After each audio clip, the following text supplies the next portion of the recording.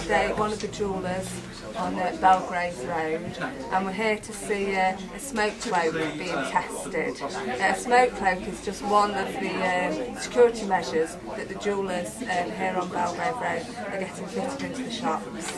Um, it's a very effective way of preventing robbers who come into your shop from stealing any of your uh, any of your jewellery or goods. Uh, as you'll see in a moment, if the premises are attacked, then the shop owner presses a, a button and within seconds uh, the shop's filled with thick smoke and you can't even see the hand in front of your face and the, uh, the thieves have to leave the shop empty-handed.